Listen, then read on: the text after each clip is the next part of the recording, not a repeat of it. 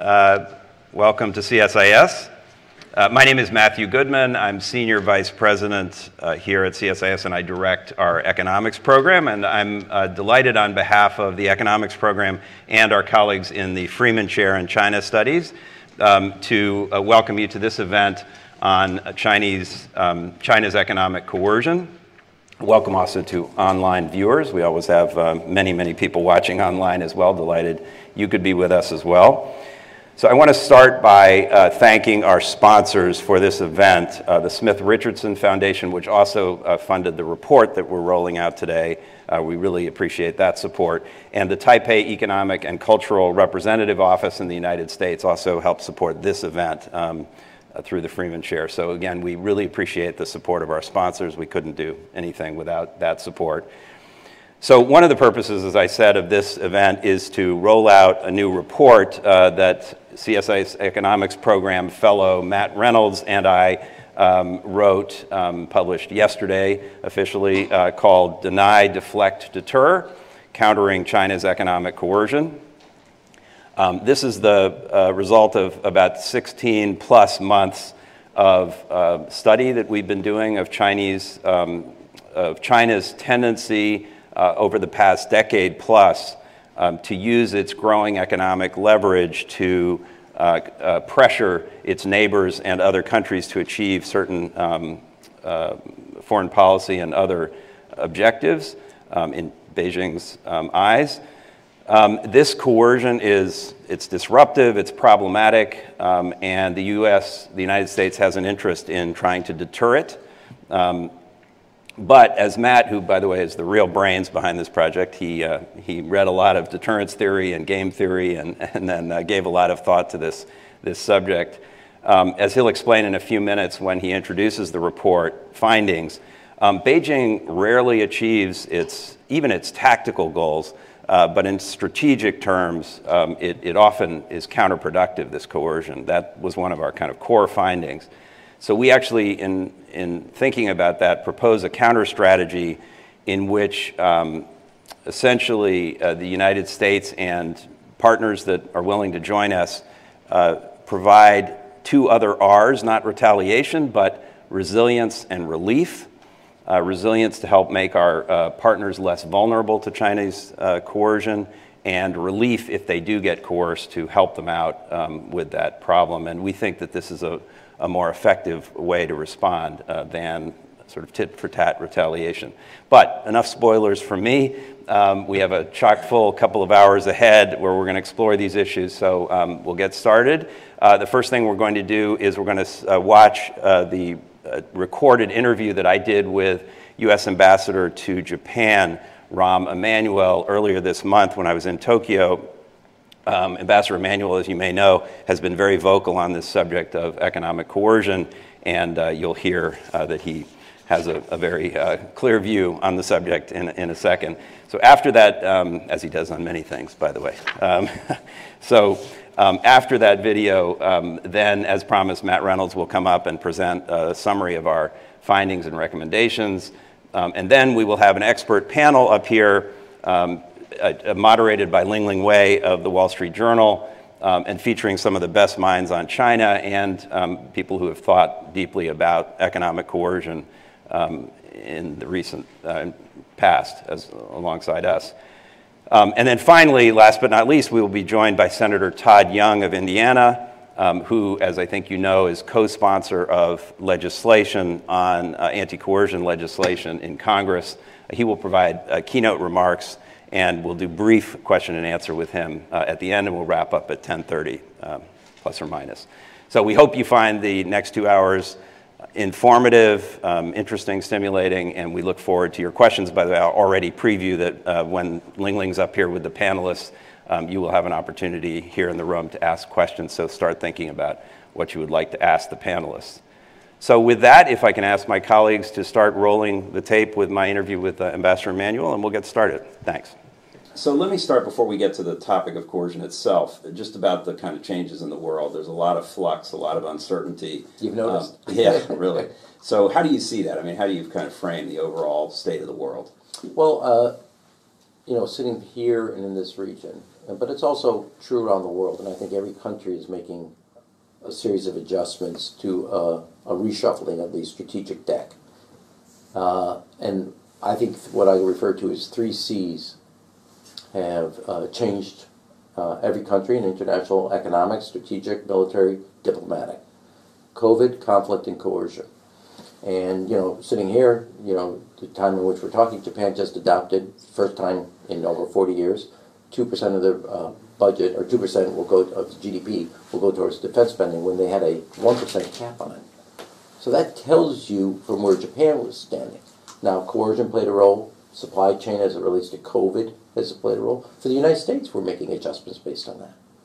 Now, on the international economic area, as it relates also to other pieces, uh, I think that the driving factor of cost and efficiency have been replaced by stability and sustainability.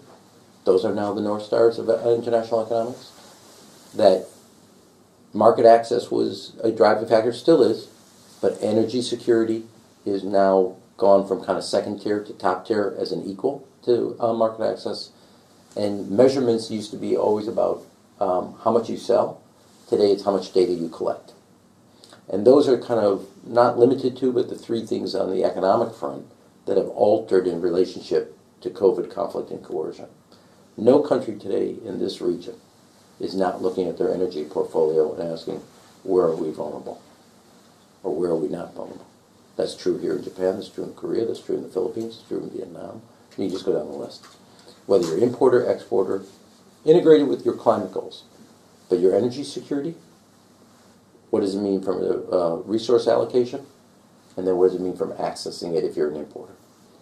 Well, a lot there to talk about, but let's talk a little about co- coercion. So, what are you, what are you worried about? What is, what is the problem with economic coercion? And you've, you've started to talk about hard and soft coercion. Can you explain a little bit about that? Yeah, well, first of all, you got to what is coercion? Yeah. Coercion is to achieve a political objective with economic tools, um, and in this region, starting Japan was really kind of the first victim of China's coercion back in rare earth materials in 2015. Yeah, and it was based on a political disagreement between China and Japan. Korea in 2017 puts a THAAD uh, in, and China cuts them off on both tourism, their big supermarket, boycotts it. Australia had the audacity to say, where did COVID start? They get their wheat, their wine, everything. Um, so that's hard coercion, and it's based on a political disagreement between China and the other country, and they cut off market access, they cut off trade, uh, they do intellectual property theft. So there's a series of tools in the coercion toolbox. And it's because of a political disagreement they penalize you economically, and they use their market and other tools in the economic kind of basket to penalize you and break you. The United States has also been a target. When an NBA team, the Houston Rockets, part of the management or part of the coaching, makes a comment about Hong Kong, they cut off the NBA, and the NBA, sorry for this, but folds like a cheap suit. Companies that complain about China but refuse to file a case with us, with the United States, and I saw that as chief of staff at the WTO. Coercion. Soft. Not as hard as what they did in Japan and South Korea, not because of market size, but because of the implied power. So there's hard and soft coercion, understanding it, that it starts at the top, which is we politically disagree with you, or, or some political disagreement, diplomatic, whatever, we're going to use all these economic tools to break you. Now, there are some reasons, and you and I are sitting here talking two weeks after, three weeks, China basically said to their coercion and isolation of Australia, we're throwing the towel in.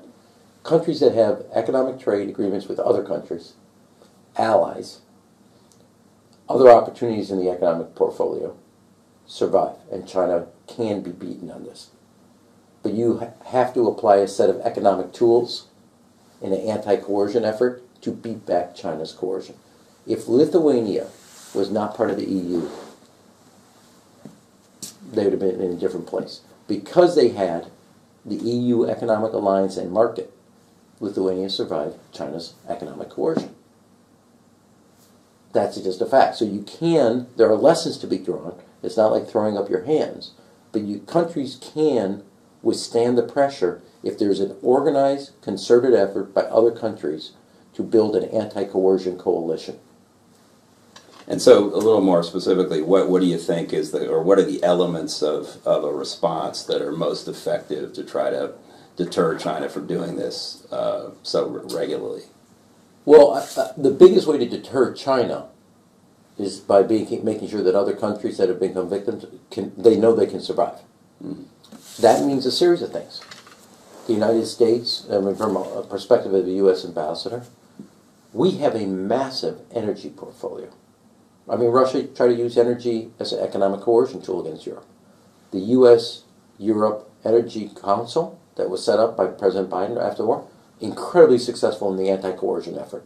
Incredibly, there's a there's a paradigm shift when you look at the amount of LNG. You look at the type of investments we made, and it's not just LNG. There's Romania is now looking at a SMR NuScale nuclear. So it's not just LNG, although that was the most pressing. There's a series of things on the energy tools that become part of the anti coercion coalition.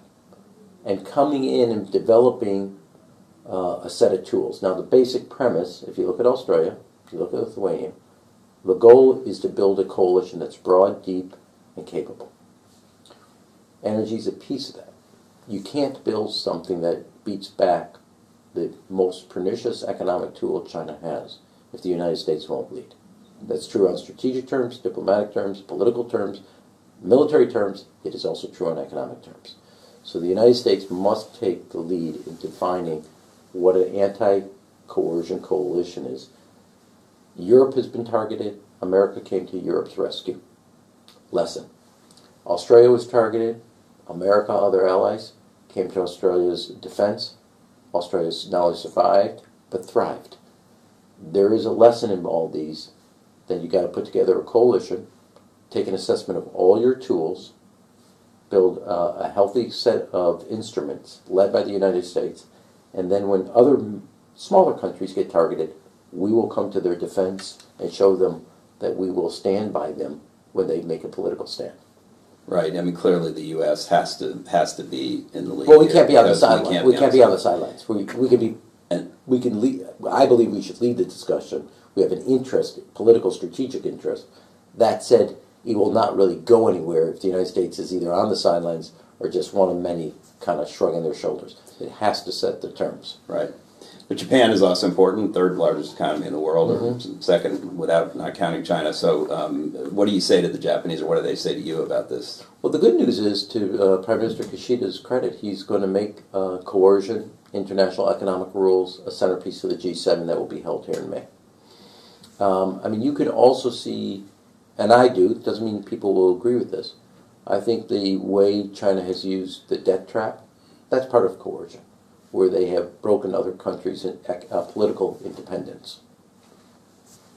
Take a look at Pakistan. Take a look at Sri Lanka. Take a look at any number of African uh, countries. Those those tools have been there. So I think you, and then we come to the rescue through, in, you know, IMF and other type of international instruments, basically using post World War II economic tools to solve China's economic uh, strangulation of these countries.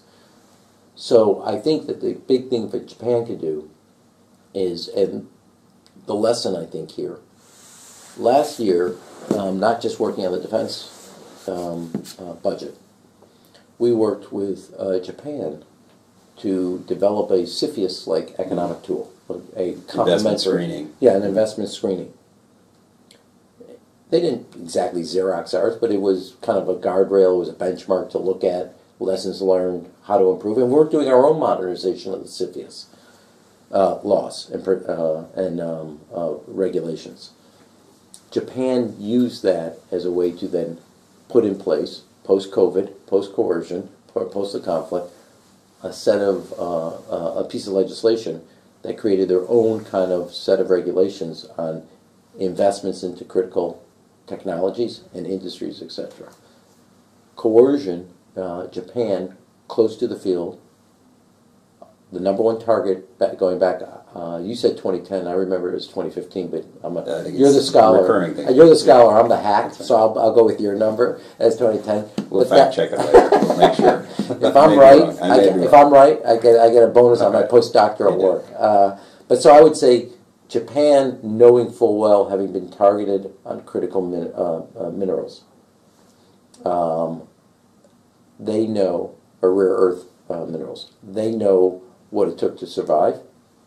They know what it means to be the victim, and they know how to give us, I think, a better sense of what are the tools that are part of an anti-coercion coalition, and what are the best instruments. I'm looking at this as a diplomat and as somebody that's basically steeped in politics. And when you look at an Australia, a South Korea, uh, Lithuania, a Philippine pine, uh, pineapples, you look at um, uh, what happened in Japan.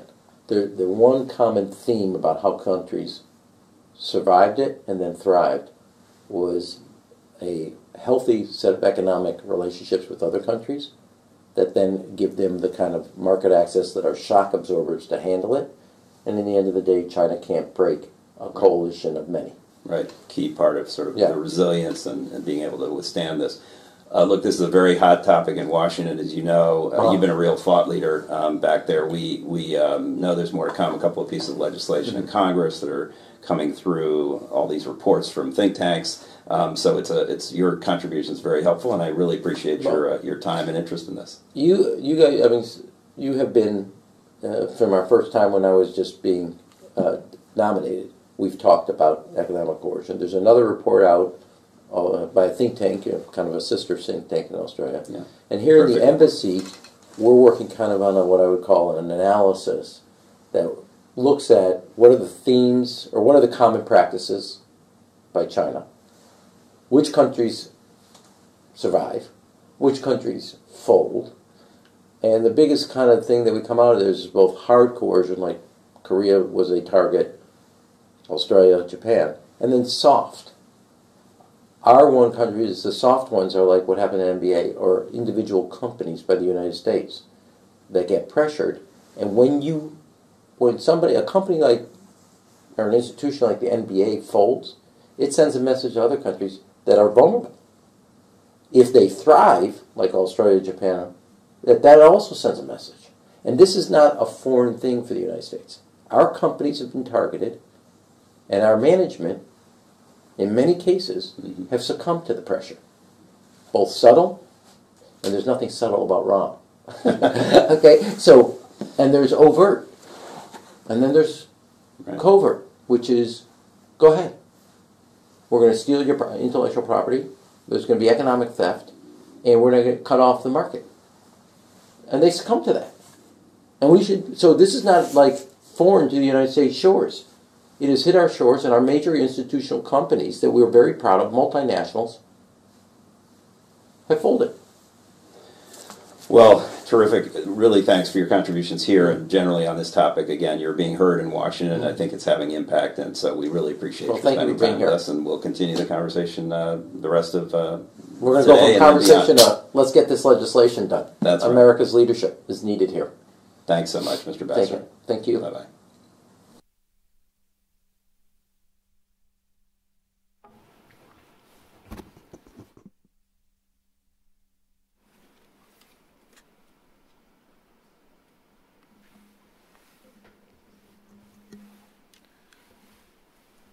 All right.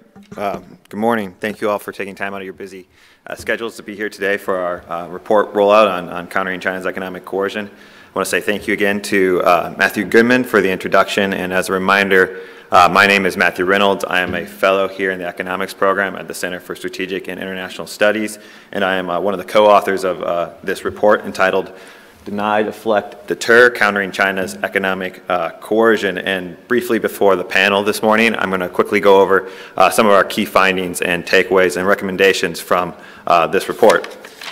This report uh, lasted roughly 16 months, and it began with a deep dive into eight case studies of Chinese economic coercion uh, that spanned roughly the last 13 years.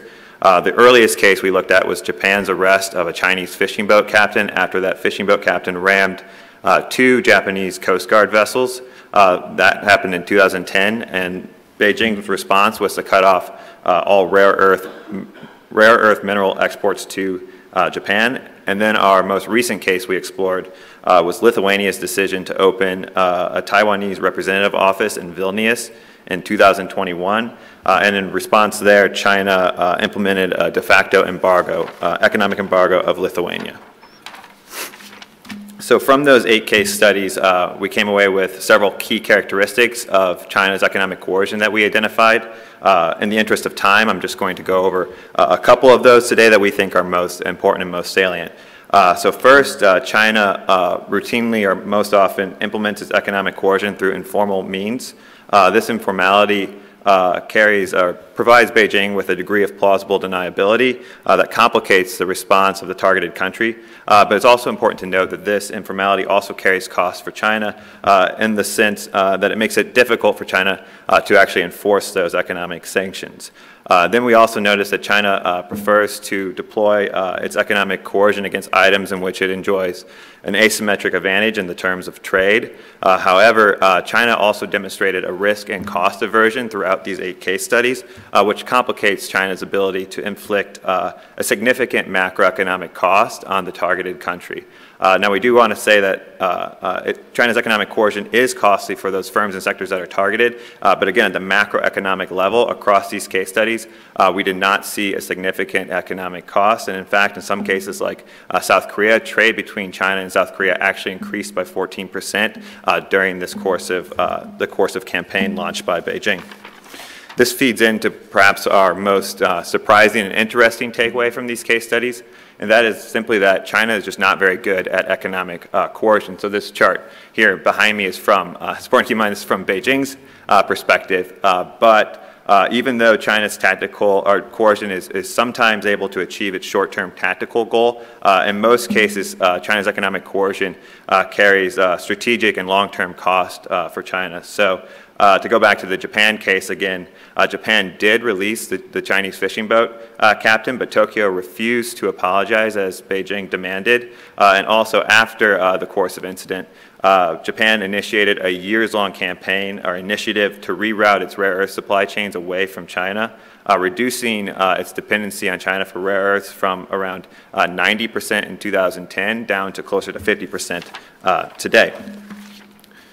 So this finding leads to another interesting uh, insight from our report, and that is China's economic coercion intersects U.S. interests in a, a perhaps a more counterintuitive, nuanced way uh, than uh, one might at first uh, expect. So uh, China's economic coercion certainly works against U.S. interests by challenging the rules-based international economic order, uh, dividing U.S. allies and partners, and making it difficult to build a coalition or build coalitions to push back against Beijing's malign behavior in other domains. However, more counterintuitively, China's economic coercion can actually work uh, with U.S. interests in the sense that it drives decoupling and trade diversification. Again, as we saw in that rare earths case with Japan, uh, it harms China's image around the world and it pushes targets of China's economic co coercion closer to the United States.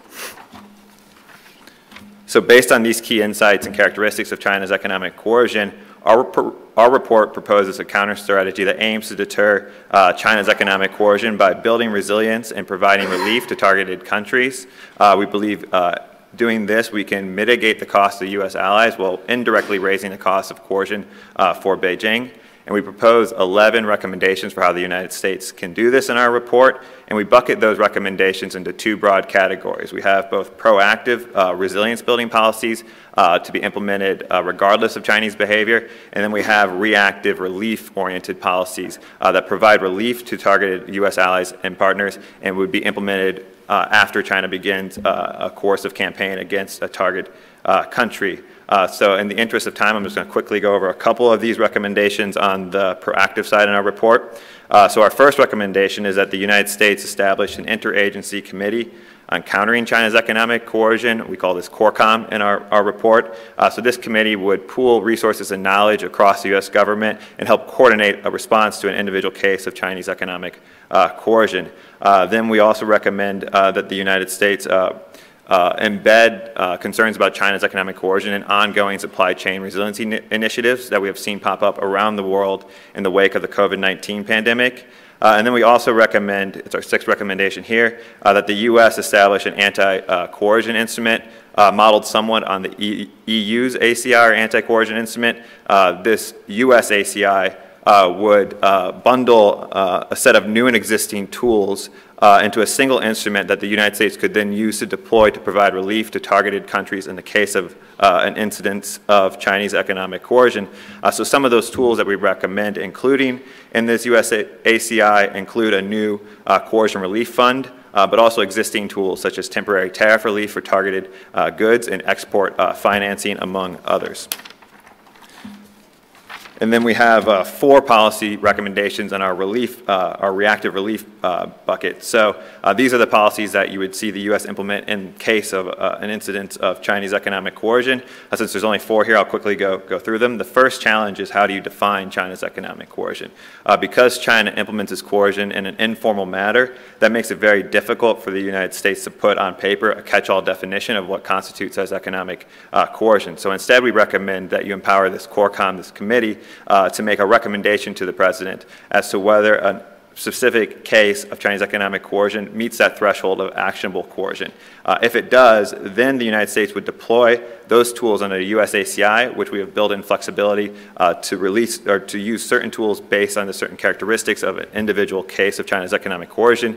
And in our report, you'll see we identify a lot of the different tools that China will use on a case-by-case -case basis. Uh, and then our third recommendation here is that the United States uh, support WTO cases that are brought in response to specific incidents, of uh, China's economic coercion and then we also recommend embedding this entire uh, response in a diplomatic messaging campaign that both draws attention to the relief that the U.S. is providing allies, uh, shaming China for its problematic behavior and messaging to Beijing that its coercion is likely uh, to fail. And then although this diplomatic messaging uh, recommendation is on the, the relief side, uh, we also would recommend you know, beginning the diplomatic messaging campaign proactively and pointing to U.S. Uh, efforts to build resiliency and pointing, drawing attention to China's uh, to Beijing that its coercion is unlikely uh, to be effective. And then one more point I'll make here is that these two components of uh, our counter strategy are mutually reinforcing. As we speed market adjustments by providing relief, we are also building resiliency to future uh, incidences of Chinese economic uh, coercion.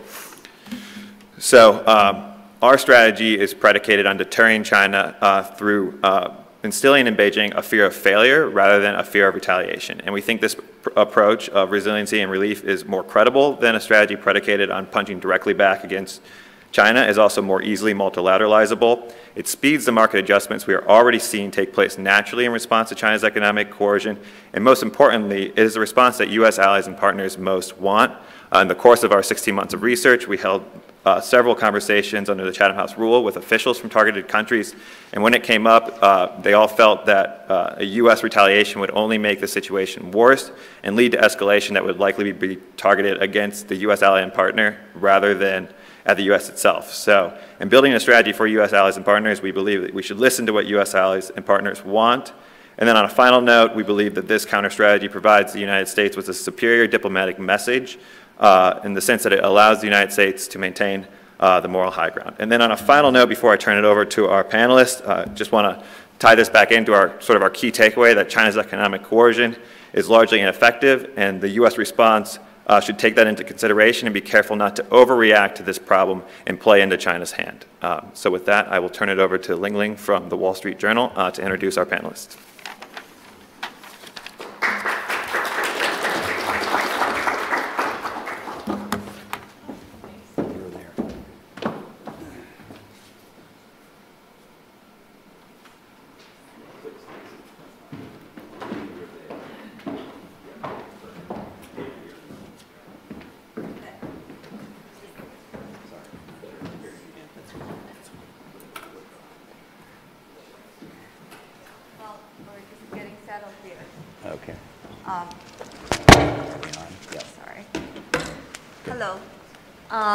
Everyone. Uh, my name is Lingling Wei. I'm the Chief China Correspondent for the Wall Street Journal.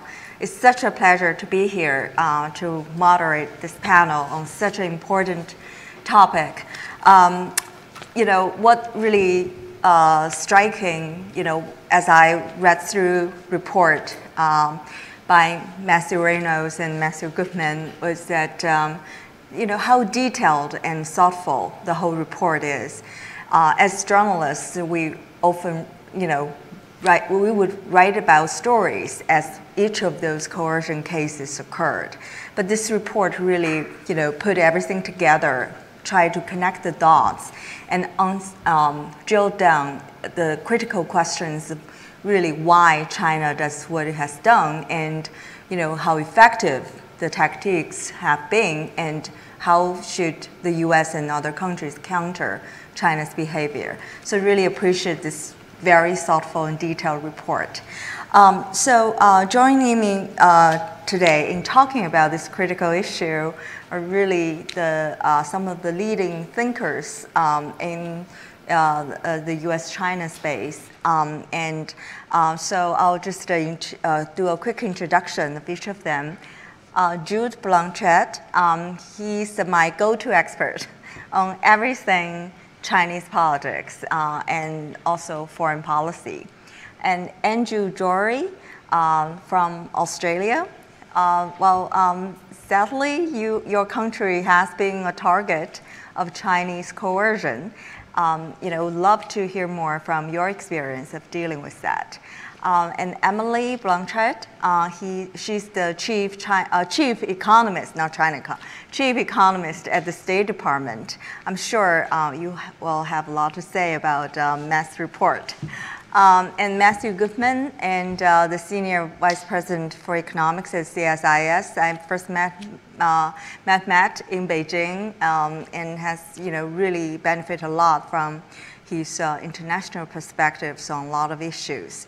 Um, so, and I also want uh, to let our online, uh, our audience here know that, not online, audience here know that uh, we will leave about 15 minutes uh, for questions. So you all will have, uh, you know, a chance to ask some very sharp and probing questions. Um, I will start with Matt. Um, so I shared your report with a Chinese contact in Beijing. he made two points about your report. The first point was um, he said the US has played a critical role in provoking other countries into uh, doing things that, are, uh, that have hurt China's interests. And the second point he made was uh, very defensively, he thinks uh, you know, the pressure tactics actually have worked in many ways, especially in terms of getting some countries uh, to hold back on undertaking new actions that might be seen as slighting China's interests. I'd love to hear your response to the Chinese, uh, you know, feedback to the to your report, at least by some of the, them, and also if you could elaborate a little bit on your assumptions and methodology uh, in your report, that would be awesome. Thank sure. you. Thanks. well, thanks. Excuse me. Thanks, Lingling, and um, and thanks again to the panelists for joining us. It's a really terrific group, and I really want to hear from from them, and you should want to hear from them too, and not from me, because you can read the report. But on those two points, first of all, in none of the eight cases that we examined do I see any American fingerprints. I mean, it wasn't an American ship that rammed um, the Chinese ship, or uh, in the Japan case, it wasn't. Um, uh, American um, uh, encouragement that got Australia to, uh, to uh, introduce its own anti-foreign inter interfer interference law or to call for a, a um, an international investigation of, of COVID. So I just think that's sort of, at least based on the eight cases that we looked at, there's, there's no evidence of, of US role. So I don't quite understand that point. If the person is, is suggesting something else, which I thought you were going to ask me about, maybe you were, but I'll just anticipate it, that the US also coerces. Um, fair enough, the US does use um, economic coercion. Uh, we, we address this in our report in a special box to explain why we think it's different. Um, it's transparent, it's rules-based, it has um, relief you know, possibilities. If you're sanctioned, you can actually challenge that, uh, which is not true of Chinese coercion. Um, and it is aimed at sort of um, broader objectives um, from non-proliferation to human rights to you know, preventing aggression against, unprovoked aggression against neighboring countries as we're seeing in Ukraine. And um, so it's, in our view, you know, completely different. Um, as, Matt Reynolds laid out, you know, the type of coercion China uses is much less formal. It's much uh, less uh, directed at uh, sort of broader kind of legitimate objectives for the world. It's, it's aimed at China's sort of perceived narrow interests. Um, and it picks on small guys. And it, you know, there are a lot of issues that are very different about Chinese coercion. So if that's what the person was suggesting, I just wanted to sort of preempt that. Um, and then on the other point, we do again acknowledge, and I'll acknowledge it here, that there may be a, a deterrent effect of China's coercion on other countries. Um, you know, there's this famous Chinese saying, at least supposedly a famous Chinese saying. I was challenged on one the other day, but I think there is actually a Chinese saying that uh, killing the chickens to scare the monkey. Um, the one that doesn't exist is a fish rots from its head, by the way. That is not an ancient Chinese saying. If you've ever used it, it's a very nice expression, but it's not Chinese. Um, but, uh, but the point is, by, by intimidating or threatening to intimidate some countries, that may scare other countries or into complying with China's wishes. Um, that's possible, but it's very hard to measure, first of all. Um, there's also lot, lots of counter evidence. I mean, um, you know, Australia has not withdrawn that law, has not apologized for asking for a, uh, a, a an investigation of, of, coercion. That sign is still on the door in Vilnius, um, a Taiwanese representative office. Um, and, and we would argue and do in the paper that, that actually this could actually strengthen resolve in countries as they realize that there is um, um, uh, you know, that, that, uh, that there is sort of domestically, they can say, well, China's, you know, uh, bullying us, and we can, you know, we can resist that. And particularly if we adopt the kinds of uh, uh, counter strategies that we're talking about, resilience and relief, we think that will uh, help to provide further kind of um, uh, resistance to that sort of indirect deterrent effect that China's coercion may have. But we don't deny that there may be cases where that does have a chilling effect. Um, I, I, since I've talked a lot, I won't answer the broader methodology. I'm happy to answer questions about it, um, but, but maybe I'll stop there, and I don't know if others want to comment on any of that, but please.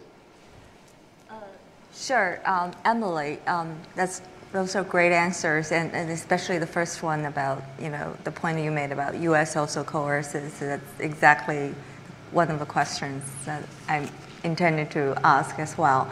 So Emily, as uh, Matt just uh, you know talked about, the U.S. coerces as well, and uh, but you know the way U.S. Uh, does that quite different from you know the Chinese how the Chinese do it. Uh, so so you're the sole representative from the government here. uh, love to hear uh, you know how the State Department has been looking at uh, China's coercion, and what do you think about Matt's recommendations? Sure. Um, thank you. First of all, thank you very much for having me, and thank you so much to CSIS and the two Matts uh, for putting forward this report. It's very thoughtful. We may not agree with every statement in the report, and I've, clearly uh, there are moments where I would not use the word coerce to describe uh, U.S. economic actions, particularly around sanctions. We'll come back to that later, I assume. Um, but, but I am not granting that point. Um, but the report is, is really constructive in both itemizing and laying out a pattern that we see um, again and again and again, starting in, in, your, in your report in uh, 2010 and then continuing through Lithuania. And I would add to that more recently, after Speaker Pelosi's visit to Taiwan, we saw coercive actions uh, taken by Beijing against Taiwan's economy. So this is a pattern that we all see. So what do we do about it? And here I'd like to just offer a US government perspective, um, humbly and also very briefly. Uh, and I'll just, just make four points. So the first point, and I think you make this clearly in the report, but let me foot stomp. Economic coercion, the kinds of actions that Beijing is taking to influence what countries say and what countries do that undermines US national security and it undermines the rules based order. It is of paramount importance that countries are free to act in their own sovereign best interests as they define it. It is also clear that Beijing is taking actions to try to dissuade countries from acting in their own sovereign best interests. So this is a problem, and we need to take action. I will say, Ambassador Rahm Emanuel said, with uh, his, his great and characteristic uh, um, energy and clarity, clearly has identified this problem as a key priority as, as well. So that's point number one. We have a problem. Point number two is we are taking action. So the US government is taking a two pronged approach, not, well, maybe coincidentally, or not coincidentally, because great minds think alike, um, clearly aligns very closely with the first two R's in your report. So, our two pronged approach is one, resilience. This is a long run strategy to reduce vulnerability, to reduce leverage, to increase the agility of our firms and our economies to respond and reorient if an act of economic coercion is taken against uh, our own firms or our own industries. So that's a long run approach. This is supply chain resilience. This is what we're doing in the Indo Pacific Economic Framework. This is what we're doing through the supply chains component of the Americas Partnership for Economic Prosperity, APEP. This is what we're doing through the US, EU, TTC, the Trade and Technology Council. This is what we're doing in concert with countries around the world, building a more resilient, more diversified global supply chains that will be less vulnerable to these acts of economic coercion. Um, that's prong one. Prong two is we respond. So, understanding what we need to do and what we can do when countries face bullying by Beijing. Um, we call it response or, or relief in your report. Um, so, what are we doing there? Well, Lithuania is a great case in point where we brought out our response toolkit when Vilnius in November of 2001 faced a uh, murky gray zone embargo by Beijing, they called us. We've got a problem. And we responded. When Beijing removed $300 million of export credit to Lithuanian firms, we stepped in. EXIM, the US EXIM Bank, stepped in with $600 million of export credits more than doubling or what, what Beijing had taken away. Likewise, we supported Lithuania as they brought a case through the European Union to the World Trade Organization, to the WTO. The Defar Department of Defense signed a procurement agreement, defense procurement agreement with, with Lithuania. The US Department of Commerce engaged in a number of trade missions to build business to build business contracts so that companies that had been selling to China could find sellers elsewhere. And likewise, we in the State Department leveraged our missions throughout the world, but especially the Indo, in the rapidly growing Indo Pacific economic region, to help Lithuanian firms form new connections. So we took action, and to great effect. Lithuania's trade in 2022 was $12 billion more than it was for the average five years before that. That's a 36% increase in their trade with the world. So, what they've lost in trade with China, they've more than made back in trade elsewhere. So, we're taking action. Point three, we know that we need to continue to build our tools.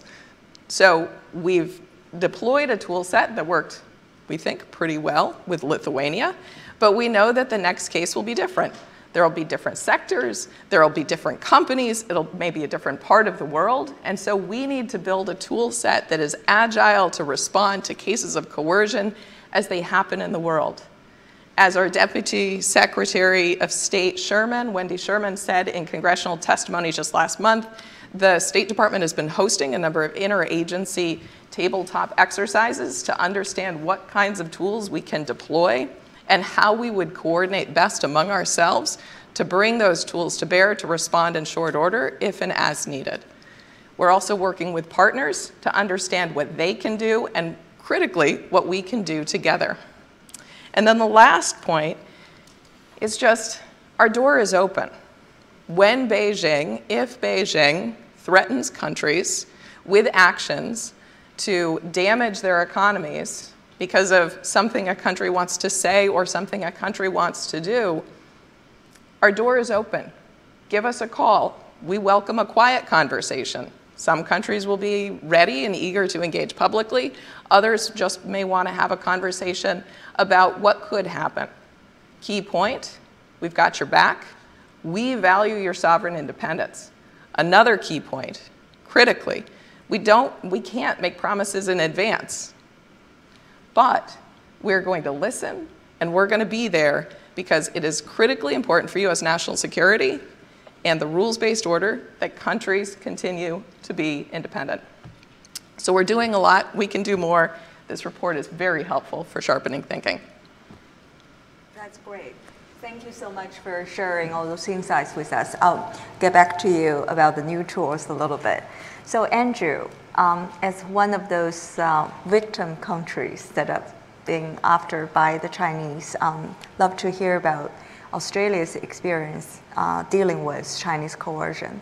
You know, back in 2010, uh, November 2000, uh, November 2020, I remember uh, the Chinese government presented a list of 14 grievances that must be rectified, um, you know, by Australia in order for relations to be, you know, back to normal. Uh, fast forward to today, we're seeing some kind of warming up between Beijing and Canberra uh, in terms of trade, in terms of uh, um, diplomatic uh, exchanges. So uh, can you uh, tell us, you know, what really has changed in terms of uh, Beijing's approach to Australia? Uh, do you agree with Matt's report that, you know, the co China's coercion largely has been ineffective? They really haven't got what they wanted. Thanks very much, and thanks very much for having me uh, here this morning. It's a pleasure to be here. Um, the report um, is a fantastic report, I think, and so many of these are produced by think tanks in Washington. But this report, I think, really maps very closely the experience of a lot of different countries and is unique um, in providing some policy answers. And I think in responding to your question, the, the title Deny, Deflect, Deter really reflects Australia's experience um, in responding to trade impediments and acts of economic coercion. I think, you know, we, I would probably agree with my colleague from the State Department that we don't necessarily see sanctions as being acts of economic coercion, and I think it's important to separate those acts that are taken in transparent legal systems uh, with agreed, defined criteria as opposed to those that are more opaque. Um, obviously, Australia opposes economic coercion in all its forms. I think if we look at Australia's experience, we can see a number of things. First is trade actually grew during the period, uh, so the economy was resilient. Um, that doesn't mean that some sectors didn't feel acute pain. Obviously, they did. But overall, a lot of the traders were able to find different markets. Also, throughout Australia, successive governments remained very clear on what the national interest was. And there was no change in national positions in terms of things that were asserted to be, um, you know, driving the um, behaviour that Australia was experiencing. So, in looking at that, I think there's two uh, broad areas. One is how were we economically resilient? Um, and the second is what were our proactive policy responses. In terms of how we were able to be resilient, I think it's worth noting one of the things that's in the report and also one of the things that the ambassador said earlier, which is free trade agreements. Well functioning open markets make a difference to exporters and importers. Now, Australia has almost, will have by the time we complete our FTA with the European Union, 86% of our exports covered by free trade agreements. So that means that if there's a problem in one market, we're able to shift not completely easily, not without cost, but there is an option there to move. Um, and if you look at some of the things that governments have done during this period, we did an agreement with India. It's not the biggest FTA in the world, but it is an FTA. And if you look at one of the commodities there um, that was targeted, wine, and you look at what's in the India agreement, there's a pretty good outcome on wine for Australian wine exporters. You look at what we've done with the United Kingdom, one of the best FTAs that Australia's ever done. You look at what we're doing with CPTPP partners in looking to expand that particular network. And you look at what we're doing with the United States through the Indo Pacific Economic Framework. These are all reinforcing arrangements that give Australian producers and exporters choice. So, that economic resilience piece is really important for us. Our politics and our domestic economic makeup is different to the United States. We're a trading nation. Uh, so, having those export markets is really critical for us. Um, I think we also worked very closely with exporters to help them diversify trade through some of the outreach and diversification services uh, that were spoken about before and that are listed in the report.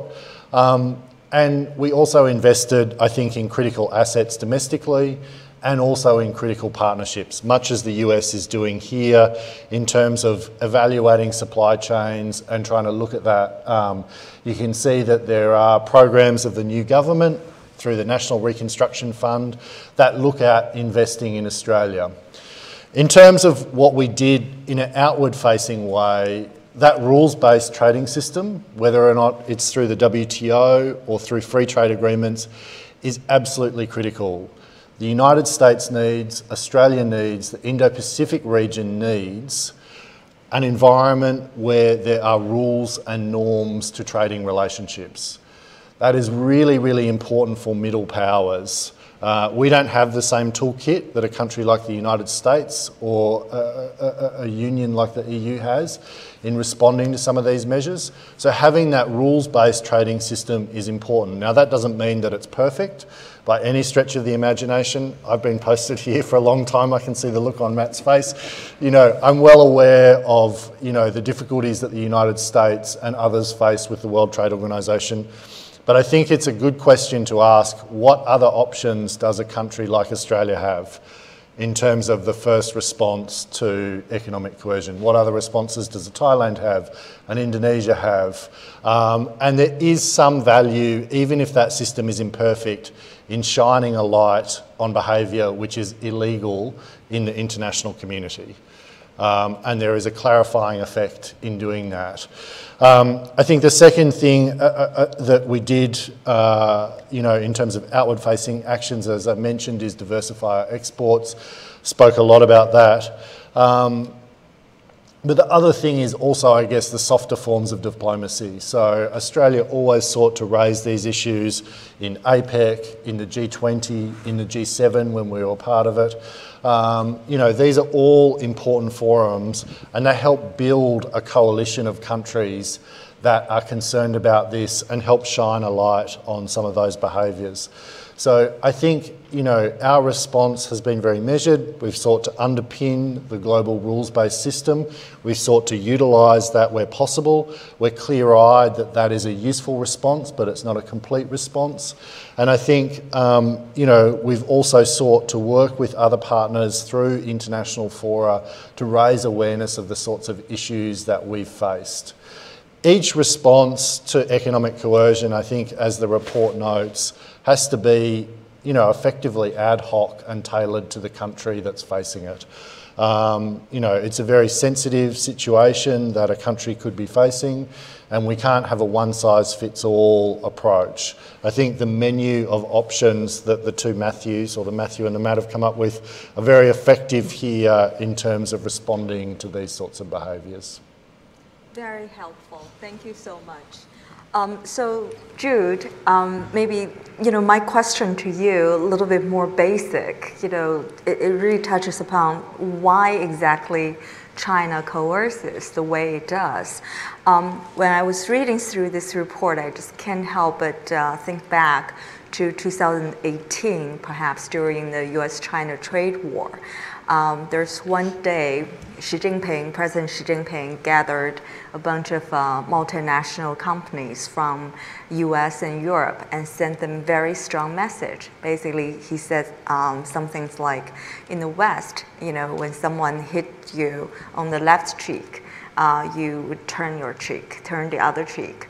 Uh, but in our culture, we punch back. So um, I, you know, how much of the increased uh, trend, seemingly increased trend of Chinese economic coercion has to do with the current leaders' style, belief, preferences, or it's always been that way. But we're now seeing it more often because China's economy has become, you know, so much stronger.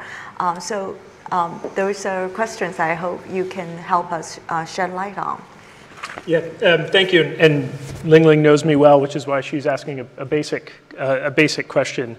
Um, I also want to say, um, although every report CSIS puts out is is an A plus, I just think this is this is a model for think tank reports in the sense that um, the outcome of this was not necessarily what one would have thought in opening the first page, and oftentimes, I think we follow linear routes um, of, uh, of basically just uh, getting to our priors after 60 or 70 pages. And so I just think this has um, really challenged the thinking um, and also highlighted an important truth, which is when we accurately describe the effect of some of China's actions, we actually zap some of the power uh, that they have. And that oftentimes inflating the effect, um, exaggerating the effect without um, you know, really doing the methodological work of trying to calibrate precisely what the impact is, does a lot of Beijing's work for it. So if you speak about some of these coercive actions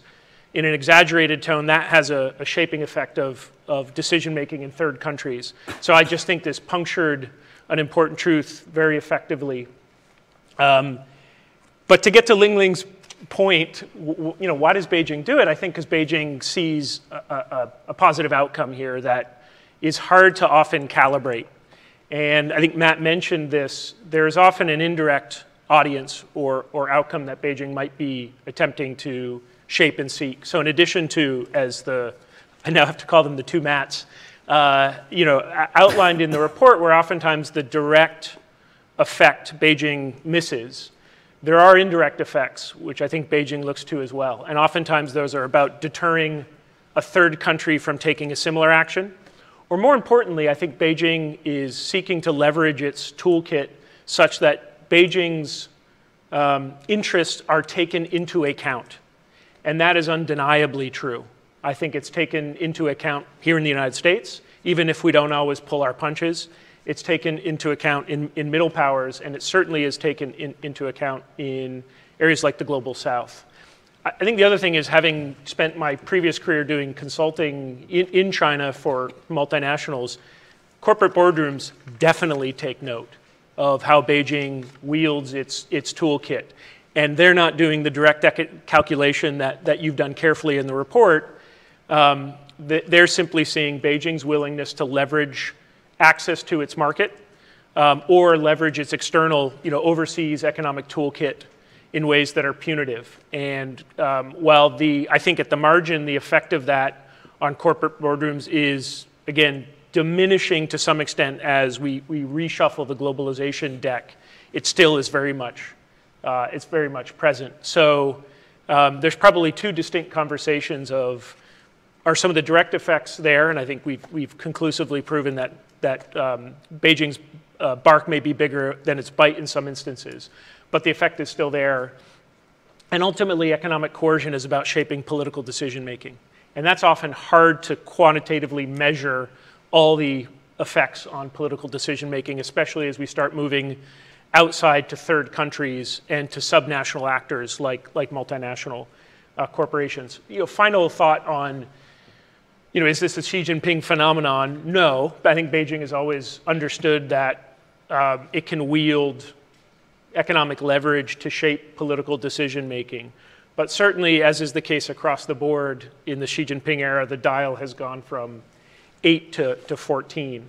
I think the real interesting question, though, is looking ahead the next 10 years. I think just for structural reasons, the, the, the effect, even if it's the indirect effect, is, is going to continue to diminish. A, because I think just everyone's woken up to this. B, China's economy is on a structural decline even though it's still an important marketplace for a lot of companies and a lot of countries, it's still the largest trade partner for a vast majority of countries.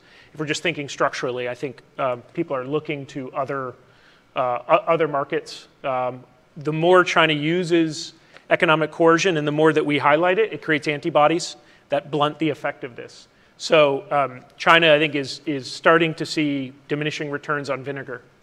Um, that it has been able to leverage, you know, sub rosa for a very long time, and more recently, with, with the spotlight put on it. And again, I think that the report is going to move the conversation even further. Um, we're going to, you know, we're, we're continuing to see China move out of the low-hanging fruit era and now have to start refining its toolkit uh, even more. And, um, and the good thing is, and I think this is the case in a lot of areas where we actually name and, and shame China's behavior, we're just in the stronger position, I think, ultimately, especially when we start aggregating you know, like-minded countries, we start implementing some of the, the actions that, that um, this report uh, outlines. I just think we're, I'd rather be on the G7 team than, uh, you know, than Team PRC. Excellent. As usual, very thoughtful and insightful. And now, you know, you ask about the critical question of looking ahead, and uh, you know, I'll get that question to Matt, um, because you know, most recently, we seem to have seen a little bit shift in China's foreign policy approach. Some may argue it's tactical shift, right? Playing nice, uh, especially to some of the allies of the United States in Europe and in Asia. Um, Matt, do you think China also itself has kind of realized the diminishing effect of their bullying tactics um, and trying to genuinely, um, you know, switch their approach to prevent the U.S. from building a stronger alliance with other countries? Yeah, very good question. Before I answer that, can I just amend something I said before? Because when I actually thought about our eight case studies, I realized I, I didn't quite accurately capture one point that your friend in Beijing made, which is there is one case of the eight where the U.S. was involved in the sense that it was the Korea THAAD case. Obviously, it was our missile system, but you know, it was a it was a sovereign or independent decision of Korea to put that there. And the reason they put it there was had nothing to do with China. It was North Korea that they were worried about and responding to. Um, to that provocation or the risk of, of, of some kind of attack um, uh, from North Korea. The, the, Chinese think the U.S. has a hand. No, I know, I know they do, but I just wanted to correct, and, and their response, of course, China's response was completely absurd. I mean, going after a department store and, and uh, Chinese tourists going to Korea. But, but I just wanted to correct the record because I misspoke when I said none of the cases had any U.S. nexus. I would say that one is per, perhaps the exception. Um, uh, but to your question, first of all, I love, I've just written it down here, Jude, um, diminishing returns on vinegar. Um, that's, that's a great expression. Um, and I think that's right. I think probably Beijing is not stupid. They've seen the reaction this is creating, and they have, uh, they have pulled back, and, and maybe for that reason, but there are probably other reasons, they are on a sort of charm offensive now um, in, uh, in many respects. Uh, and in fact, let me just say something about that because as a sort of structural issue, which is um, if you're into international relations theory and things, you know that there are sort of two main uh, tools of economic statecraft. There's coercion and there's inducement. And, and China, of course, uses inducement. Um, the Belt and Road Initiative is sort of the, the poster child of, of that. Um, and they certainly, so this is not new in a sense that they're trying to use a sort of more positive and affirmative inducements to, to, to win over um, friends and allies.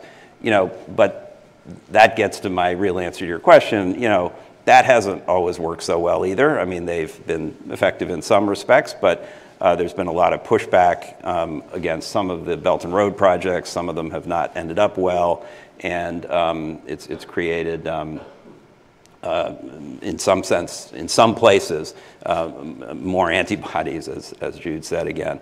Um, but China does use those tools, and those will be, in a way, a, a more challenging thing for us to respond to, I think, than coercion. So, in some sense, I think um, and we're actually talking about this now. Um, we need to have a, a parallel project, a, a, a, partner project to this one on inducement and the challenge for us of responding to Chinese inducement, because I think that is probably harder in a way. The coercion stuff is on some level, A, it's going to fix itself in the way you sense, but I just I say one more thing about the problem.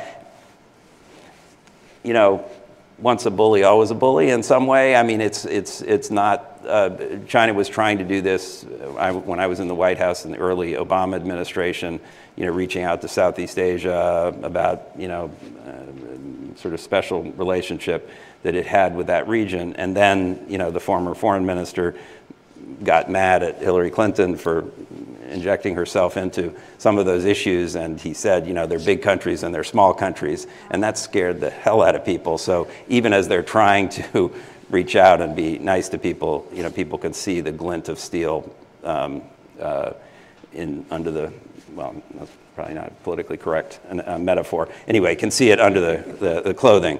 Um, and uh, so, uh, so I think, you know, the coercion is going to continue, I think, but yes, be probably somewhat diminished because of this effect it's having. And meanwhile, China is going to continue charm offensive. It's going to try and inducing, and I think that is a, um, you know, that that is a mixed blessing for them as well. But it's in some sense a more challenging thing for us to respond to. Sure, stick and carrot, Yeah. and um, divide and conquer. Yeah. Um, so, uh, Emily, um, uh, what Matt just said actually reminds me of a question I really want to ask you. So, this report uh, by the two Matts uh, pointed out the eight cases are uh, all involved countries whose uh, economies, the size of their economies are smaller than China's. So far, on the government level, China hasn't deployed co- coercive measures against the United States. And as you just pointed out, um, the number of initiatives that are underway in Washington to help allies and partners to both, you know, resilience, counter Chinese coercion. Um, you know, there any debate at all in Washington about, you know, what the potential costs for uh, U.S. companies, uh, U.S. businesses? What if, you know, so far China has refrained from retaliating directly against U.S. businesses and U.S. companies? What if that were to happen, and that very likely?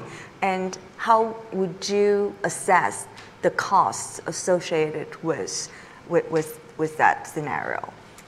Yeah, that's a, that's a great question, a fair question. Um, though I will say, we have seen US companies targeted, and in particular, I'm thinking about the recent case of a, um, a tweet uh, by a, from the National Basketball Association, from the NBA. Um, one of its members tweeted uh, a statement in support of Hong Kong uh, not long ago, and then the NBA lost all of its contracts to show games in China for uh, the entirety of a season, as I recall. I mean, effectively, uh, costing uh, a huge amount of money. Uh, so we have seen certainly some acts of, of coercion against particular companies. I would say the toolkit and the philosophy and the temperament of responses in support of specific companies will be quite different than the way we're thinking about building resiliency uh, for countries, and again, targeted countries. And you're absolutely right to point out that Beijing PRC has targeted uh, smaller countries and uh, sectors in those smaller countries where it's got incredibly outsized asymmetric market power, uh, where, for example, uh, a country's exports to China are really important for the target, whether it's Lithuania or whether it's um, Australia, thinking about wine, for example. Um, or, or, uh, or it could go the other way, where there's asymmetric market power, where China has a basically a lock, uh, a near monopoly on the export of certain products. And so here I think about the 2010 targeting of rare earth exports to Japan. And I think the real key there is to recognize, again, economic coercion as practiced by Beijing is an act of bullying. And like anybody who has had the misfortune of being on a middle school playground, uh, we know that bullies don't target the biggest kid on the playground, they go after the smallest kid on the playground. And so that remains squarely where our US government focus is today.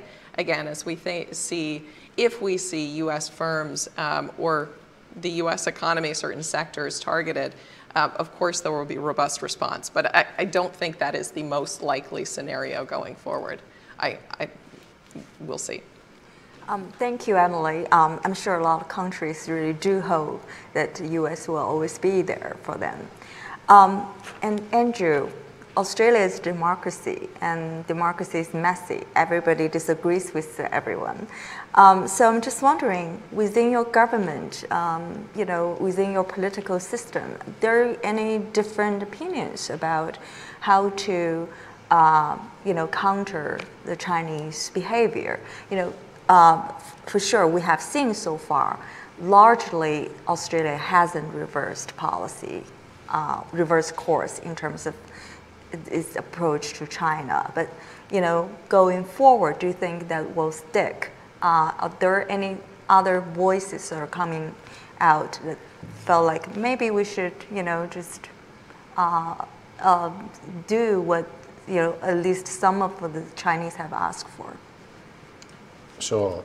I, I mean, I think, you know, in a democracy such as Australia, there's obviously a diverse range of views. Um, you know, I was sent, you know, in a past life, you know, to Beijing um, to represent um, the government in the barley investigation, which was one of the first acts. And, you know, obviously, if you went back and spoke to some of those barley farmers, you know, they really wanted to keep that market. I mean, many of them had worked for sort of 10, 15 years. So I think it's very natural that in the business community and in a democracy that there are strong voices, um, you know, for engagement.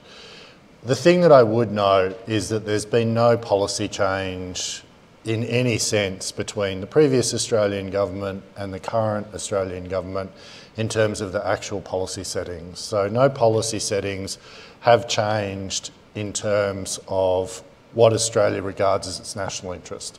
And I think the Prime Minister and the Foreign Minister have been very clear on this. We will seek to cooperate with China where we can. And at the moment, you know, we are working to stabilise that relationship. We will disagree with China on matters where we must. You know, I think that the government has been very clear in how it's going to respond uh, to this and has been very clear in asking for these trade impediments to be lifted. Uh, we welcome the discussions that have occurred uh, between you know, a range of different officials and Chinese officials and ministers. Um, and you know, we see that as a positive step forward towards stabilising the relationship. But I think that doesn't mean that you know we're compromising on our values or policy settings. It comes back to what the Prime Minister and the Foreign Minister have said. You know, we're going to seek to cooperate where we can. We're going to disagree where we must, and we're going to be cognizant of what our national interest is. And I think, you know, throughout this whole episode, through multiple governments, you know, we haven't seen a change in policy settings. And I think some of the uh, support that we've received from the international community, I mean, including here in Washington from Ambassador Tai and Secretary Raimondo, who've worked with successive Australian trade ministers, Minister Farrell, uh, you know, they've been very respectful in listening to what Australia needs. And I think their statements on this have been very measured. And a lot of the statements from others in responding to this problem have been very measured, which comes back to those themes that are in the report. This is a difficult situation. These are difficult circumstances that countries are facing. Not many countries in the world are going to be looking for a Section 301 tariff type response to these issues. They're going to be looking for something much more nuanced. And, you know, we've received that support um, you know, from international allies and partners, and we appreciate it. Excellent. Thank you very much. Uh, another quick, basic, and easy question for you before we open the floor up to the audience. Um, Taiwan. So uh, this report uh, doesn't cover Taiwan. Um, I'm sure Matt can let us know why. Um, and, um, you know, obviously China has stepped up uh, coercive pressure on uh, Taiwan, you know, economic ties, etc. So how do you uh, view China's pressure on Taiwan and how that differs from the cases listed in the report by the two Matts? Yeah, I mean, the, the, the, case study on Lithuania, of course, is, is directly related and I think is also a case of trying to shape third country decision making on will they follow a similar route. Um, so that's directly, you know, related. And I'd also say that, you know, Taiwan also shows how both direct coercion and inducements are a part of China's strategy here. You know, China just uh, recently made progress on, on flipping Honduras, a diplomatic ally of Taiwan, and that was through the, you know, a, a combination of carrots and, and, and sticks there. So using leverage externally overseas as a way to shape political psychology and dynamics um, in, in Taiwan. And, and it's an interesting example of how this is a mixed bag when you think about China's economic coercive toolkit on Taiwan. If you look at the response, as Emily was mentioning, after the Pelosi visit, uh, you know, in some sense, I think you could chalk that up to a relative failure on China's part. It was quite limited what they did, fish, citrus fruits, um, did not have a, a demonstrative effect. Also demonstrated that China's foreign dependencies um, and interlinkages with global value chains and China's softening economic situation actually create something of a ceiling over how much China can escalate if it doesn't want to shoot off its own foot, cut off its own nose to spite its face, whatever the metaphor, the metaphor is. So in that, you could look at it and say, it isn't working. I, I think that's partly true, but I think, again, if you're looking at this through the lens of political psychology and shaping longer term dynamics, this is an assertion of power when China uses these tools, and it's cumulative and it's fungible, right? So China's not just using economic coercion on Taiwan; it's got a full full spectrum toolkit of, you know, political pressure, cyber attacks. Um, obviously, the military response to the, the, the trip by Speaker Pelosi. All this is cumulative and is part of China's toolkit of trying to consistently assert power uh, over dynamics uh, um, on, on, the Taiwan Strait. So that's where disaggregating the specific effect of economic coercion, while important, also I think has to tie into the broader um, strategy that China is trying to employ of, again, making sure its, its interests are taken into account when political actors in Taipei, in Vilnius, in, in other countries think about decisions. And what's hard to measure is decisions that are not taken because of factoring in what China's response may be. And that's just really, really difficult. We don't want to overstate it, which again, I think this report is really critical in grounding us to what are the direct economic effects, but we also don't want to underestimate, and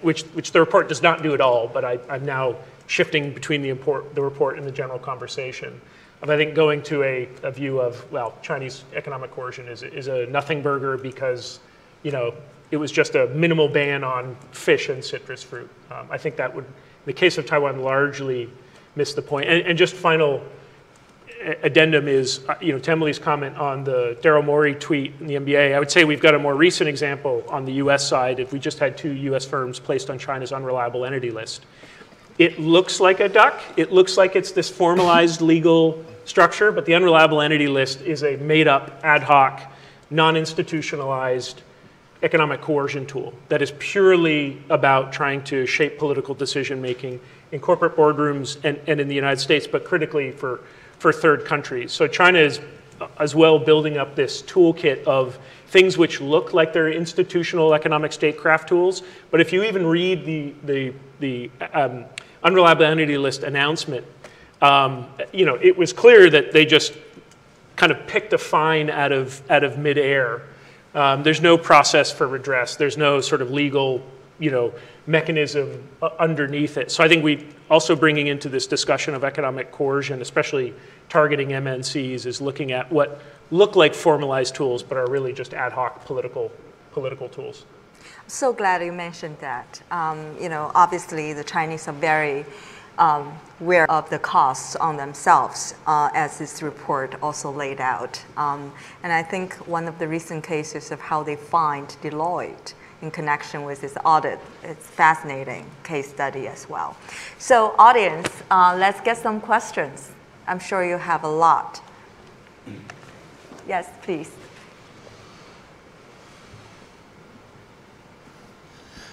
Thank you. For, can you hear me? Great. Thank you for this wonderful report and for the really interesting discussion here today.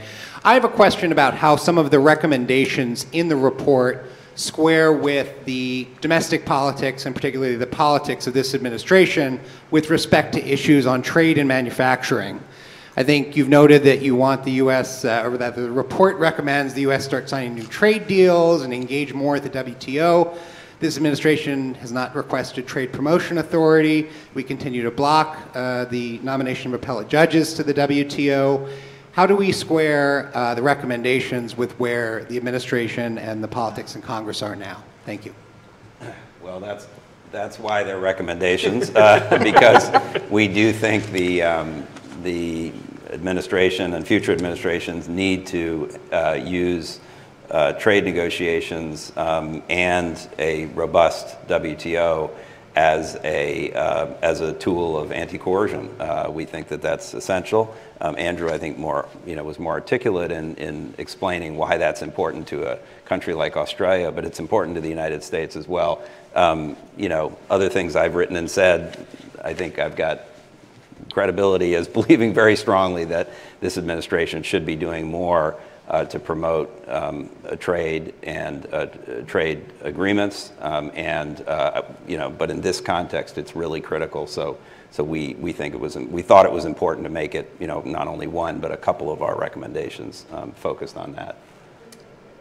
Can I add? Yep. I feel like this was directed perhaps a little bit over here too. Um, not surprised that this question came up, and I'm going to answer as diplomatically as I can. Um, so, so, a few of you might know I'm, I'm actually an economics professor, uh, and, uh, and as a card-carrying trade economist, I will acknowledge readily the importance of tariffs and trade agreements for shaping long-run aggregate trade flows, the pattern of global commerce. No question. Nobody disagrees with us. At the same time, I'll also add that we tend to be a little too simplistic in our thinking in trying to describe tariffs or market access as somehow a necessary and sufficient condition for responding to something like economic coercion. That simply is not true. As we think about the kinds of measures uh, that we need to have ready to deploy um, or already deployed in instances of economic coercion, it's down at the brass tacks. It's businesses being able to form new partnerships very quickly um, with either new suppliers or new buyers across different markets. It's about a business enabling environment. And that has to do with a basic global code of conduct. This is regulatory standards and procedures, this is customs, this is governance. This is being sure that you can have confidence doing business in a country without fear of corruption charges. Um, it's labor and environmental standards that have values that are consistent with a company's own customers or their own buyers. And here, I will say the Biden Harris administration is taking extraordinary steps building in that global code of conduct, that sense of how we do business in the world through the IPEF, through the APEP, through the US EU TTC, and related initiatives in the ability to buy green power around the world. So then here comes PGII. This is all part of creating a vibrant, sustainable, secure, diverse global trading system and global commercial system Yes, there's the tariff piece of that. To that, I will readily and quickly refer you to the USTR. That's their remit. But the, but the administration is making enormous strides on making firms more agile in the global economy, and we don't want to lose sight of that. Uh, it's critically important work, and again, in both responding to and preempting uh, acts of economic coercion. I, I, I might just do something that I've never done in my career as an Australian trade official, which is defend USTR. but um, far be it from me to speak for them, but I do think that um, on WTO dispute settlement, um, this USTR has restarted discussions about what dispute settlement could look like in the WTO. That's very welcome. Um, I think you know the whole world is clear-eyed about how difficult that discussion is for the United States domestically and the pressure on them. So I think that that's a very positive step. Um, and in terms of the Indo-Pacific Economic Framework, um, you know, that is what the US political system can bear right now is our sense. So, you know, it's up to partners to make sure that that works. I think that there are creative ways of looking at trade in that agreement that can produce valuable results for those partners in it. So, uh, you know, we, I think, you know, within the limits of the politics here, there is some movement, and it wouldn't be right to say there's been no movement. But that's the last time I'll defend USTR. So, One, you can take one more. Sure. One There's, more there's somebody way back there.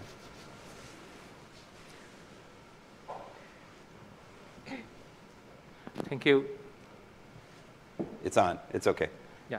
Uh, thank you so much for a very helpful discussion. I'm from uh, Vietnam. I have uh, three questions. Um, you know, Vietnam has both economic conflicts with China and territorial conflicts with China in South China Sea too. And Vietnamese economic depends on China in two directions, import and export.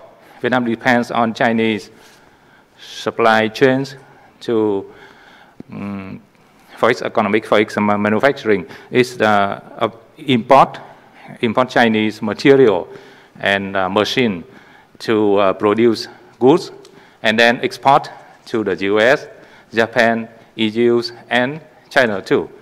And then whenever Vietnam and China have conflicts in the South China Sea, China block its border so that Vietnamese um, agriculture goods cannot be uh, transported to Chinese anymore.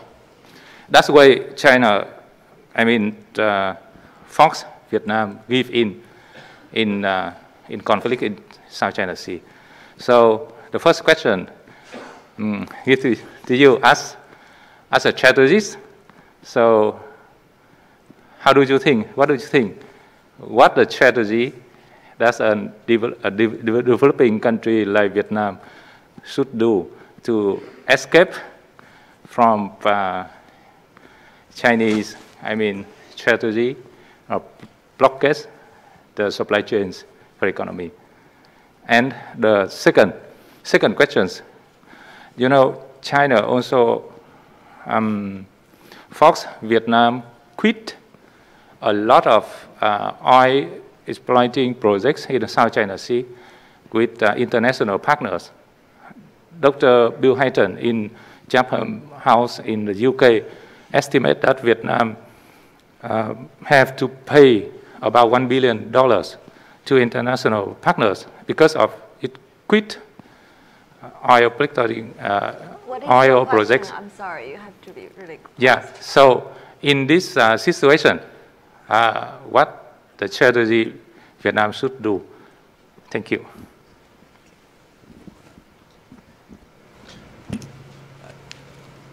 Um, I mean, it's a good question, and I think um, uh, Vietnam is in a sort of, in a sense, typical position in being uh, very um, economically interdependent with China, um, having a lot at stake um, in terms of trade and investment flows, um, uh, having, you know, a difficult relationship with China as well, and in the case of Vietnam, going back a very long time.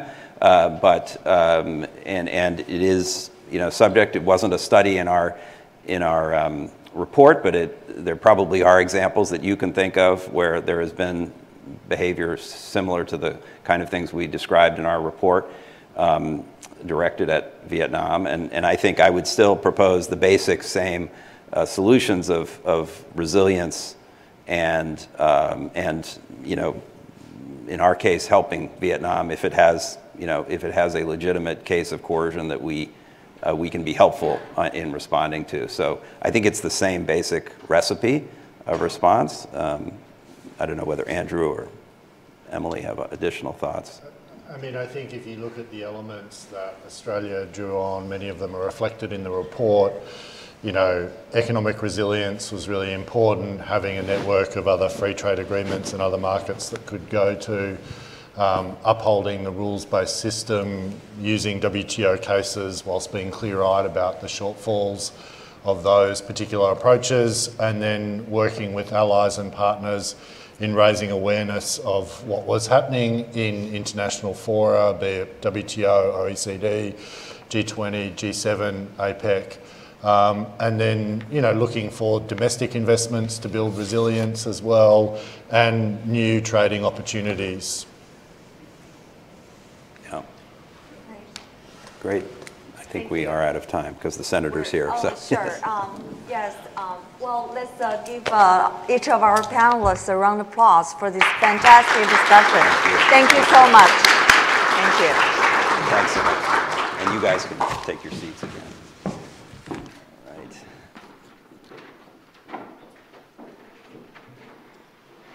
Right. Well, um, that was terrific, and we needed another hour just to kind of scratch the surface, but it was a, a great conversation, and thank you all for, for doing that. Um, we're now uh, in for the the main course of the dessert. I don't know, depending on which you prefer. I'm a dessert guy, so I'll, I'll take dessert.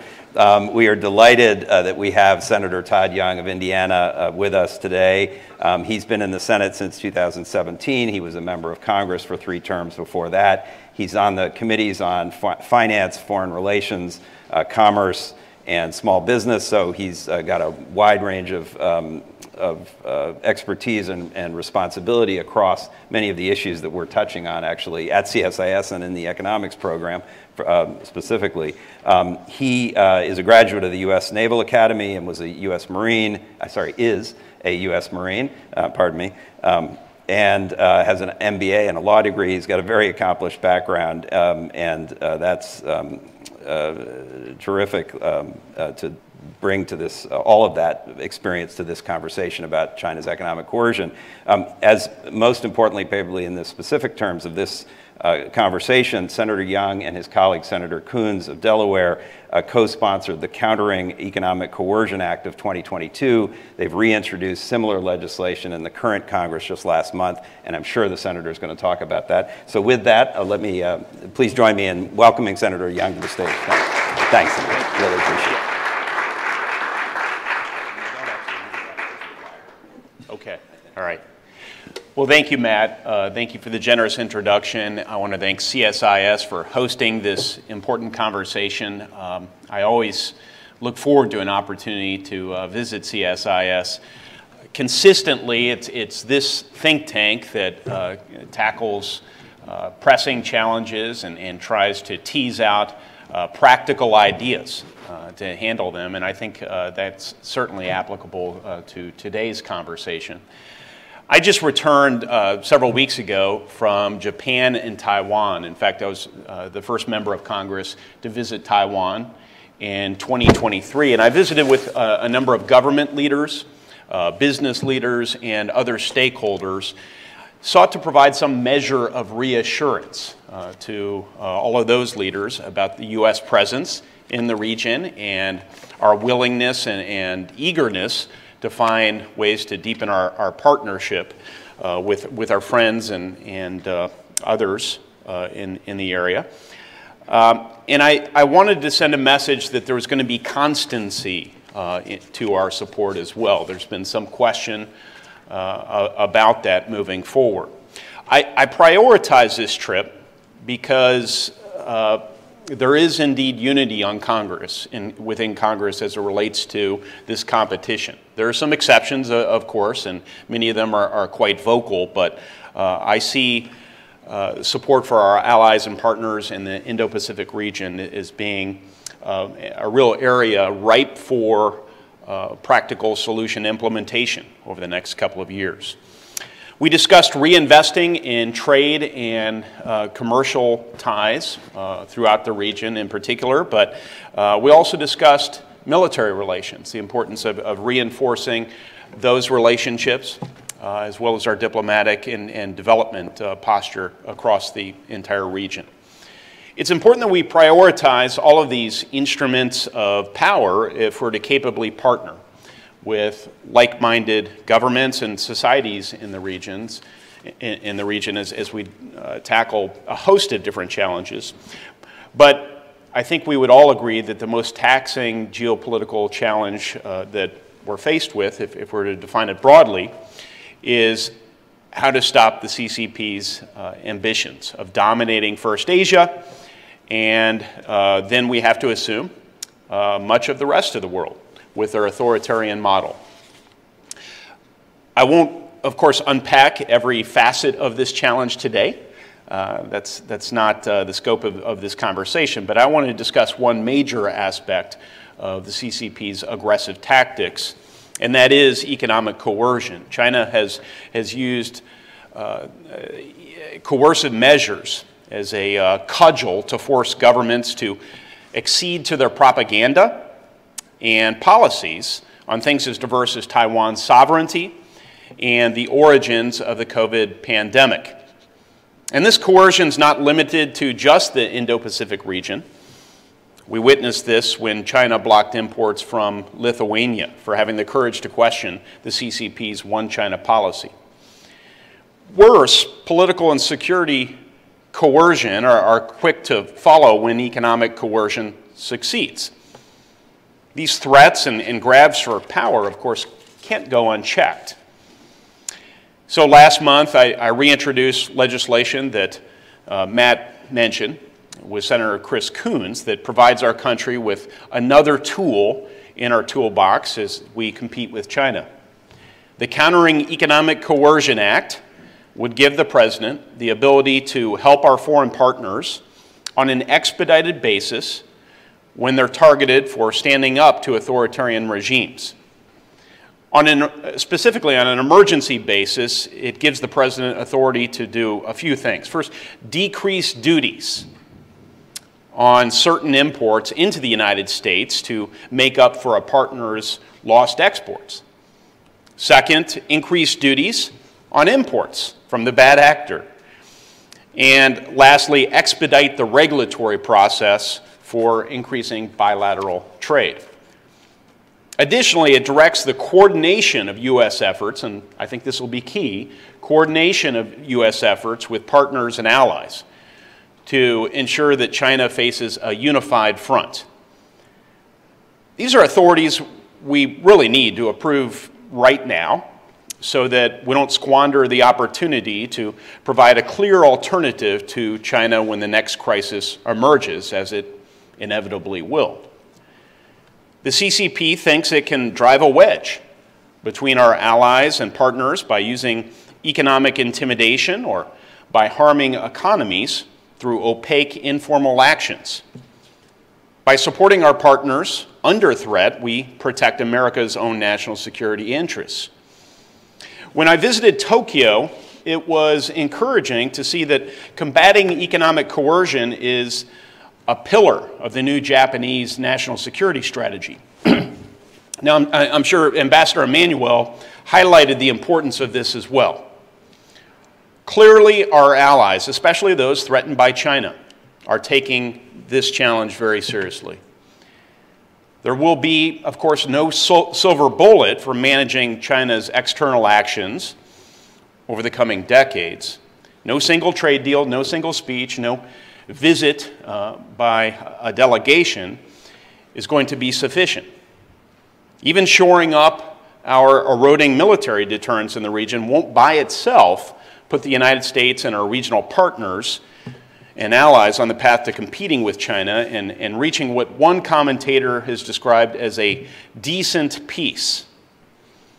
I've been encouraged by the actions of, of successive administrations to shine a bright light on China's bad behavior and begin the process of reducing our vulnerability to economic and political coercion. But much is left to be done. And global challenges threaten to distract us from what must be our primary global priority. This must be a priority, again, for Congress on a bipartisan basis and also for the executive branch.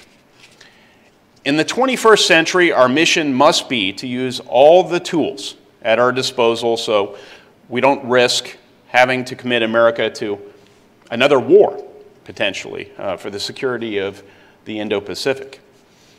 I appreciate your attention to these important matters and for holding this important conversation today. Thanks again to CSIS, and um, we'll look forward to working together on some of these issues. Thank you, Matt. Have a, have a seat right there. Take this away. Please, have a seat. Thanks so much. Thank well, you. thanks, Senator. That was terrific Yes, and, and um, a great sort of compliment to what we were talking about earlier and touched on uh, some of those issues, not all of them. Um, if I could ask a couple of questions, um, if, you, if you'll um, Of course. uh, forbear. Um, so in our report, we um, looked at these eight case studies and we, you know, came away with a conclusion that, you know, China's coercion is problematic and, and disruptive. We need to try and do something to deter it. And we um, concluded that there's sort of three R's that you could use to do that, um, which are retaliation, resilience, and relief.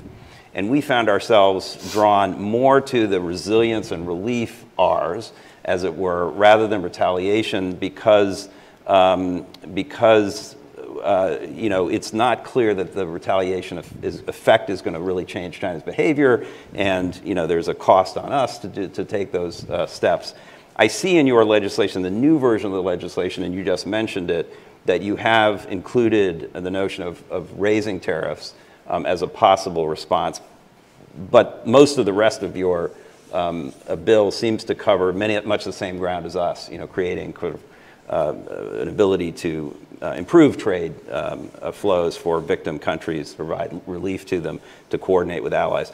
So I guess my question is, how do you see that balance of different tools, and do you think um, it's likely that, which of these things is most likely to change China's behavior?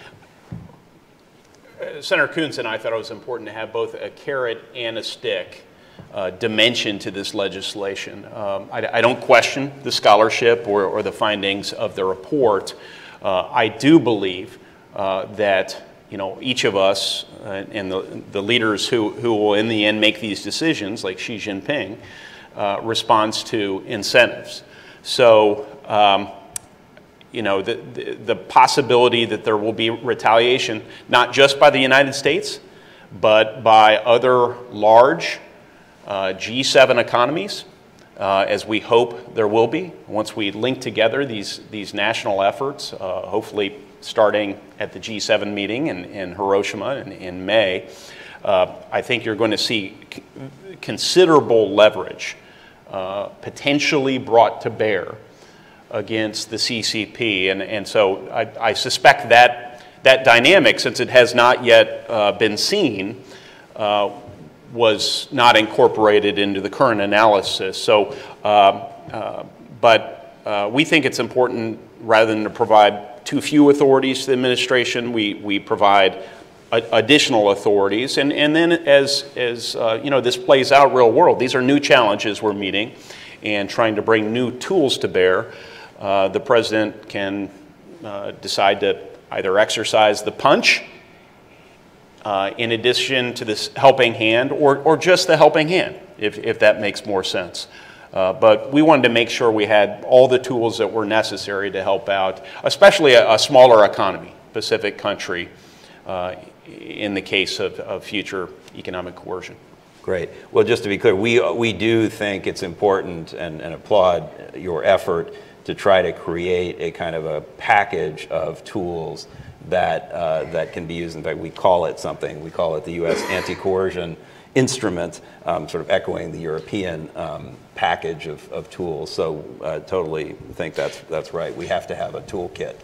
Uh, you Yeah. want to add something? Yeah, you know, this debate is, um, it's very important that it continues uh, to happen uh, uh, about the, the relative efficacy of, of, of the punch versus the helping hand. It's one, frankly, that is analogous to our, our domestic criminal law debates, right? To what extent uh, does the possibility of future punch, punishment really deter action? And um, I think most would concede that, at least on the margins, it makes some impact. It also uh, is an important, uh, you know, sort of moral statement by society uh, about particular things. But uh, I think there will be considerable debate about the, its deterrence effect. And I suspect this area. Uh, Yeah, yeah. I don't think same thing will occur. Really, Yeah. yeah. disagree. I think I think I Yeah. agree with with Yeah. much of that. Um, so let me ask. And by the way, if the if you're willing to take an audience question, Oh, sure. I'll invite them to Yeah. jump in. So I always, think- I always like to say, uh, you know, if, if it's a hard question, just submit it by email. that's right. That's right. And your staff will answer it. Um, okay. Um, Uh, so you talked about the G7, and it does look like Japan is trying to broker some kind of G7 uh, statement about this issue, and possibly, do you expect them to actually talk about specific tools, and, and then, you know, what's next after the G7? Because G7 is the largest industrialized economies, you know, who else should be part of a broader group? Do you think there are other countries that, that ought to be part of a broader coalition on this issue? You know, I, I, I do, and and uh, uh, Prime Minister Kishida, he's, he's he, you know, this is has been his number one priority for the G7. Course, will be in his hometown in, in Hiroshima, and um, he's he's taking great pride in and focused very much on the details of this conference. Uh, he is he's done a G7 tour already, visiting with heads of state who will descend on Hiroshima in May, and and um, uh, he has put together a consultative agenda I am told uh, by our ambassador that economic coercion will be the top item on the agenda. So I suspect, in light of the spade work that uh, he has done, showing exceptional leadership, we're going to see um, a commitment in principle to work together, but probably some more details. And then, as often happens with these things, uh, the, the real work will be dedicated to teams of, of staffers who will go and, and uh, figure out how to operationalize all of this. But uh, I think it's very exciting. I, I, I, think in fairly short order, we're going to see a large economy, free country alliance uh, that uh, is uh, putting together a toolkit to, to counter economic coercion. Right, great as a former G7 yak, that is the deputy Sherpa, the person who helps the Sherpa take is the that your term, or is that no, actually? It's a, okay. it's, a, it's a sort of affectionate term that we right. we uh, we deputy Sherpas used to call ourselves. I got a haircut, but uh, but but the yaks were were uh, were a great team. But I would just endorse something you said. It's much more powerful. People get cynical about statements by leaders on things, but actually, it's a really important function to set an agenda and say you know, there's an issue here that we care about as leaders of these um, largest, you know, advanced market democracies. And then the acts and the, and the folks below take that and, and push it forward into specific action. So I think it, it will be more significant than you think maybe if, if the G7 says something. So that's great. Yeah, I mean, I, I, I just I want to use this opportunity in case anyone uh, notices to really commend the leadership we're seeing in Japan. It's so important between uh, the, the military budget and, and, and now this, and, and uh, they're really, they're providing the sort of partnership that we need, especially in a dangerous world where, where you know, we have other priorities and other geographies as well. So right. It's fantastic. Let me try two other quick questions, and then they're not quick, they're hard questions, or they're, they're big questions.